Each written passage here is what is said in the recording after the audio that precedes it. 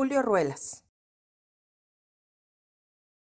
Nació en Zacatecas y muy joven se trasladó a Alemania a estudiar y conocer las corrientes artísticas que emergían en esa ciudad a principios del siglo XX.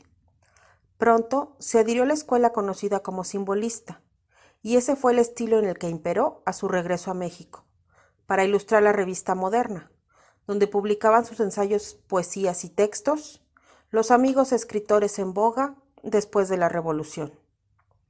Años más tarde vuelve a Europa, a París, donde muere a temprana edad.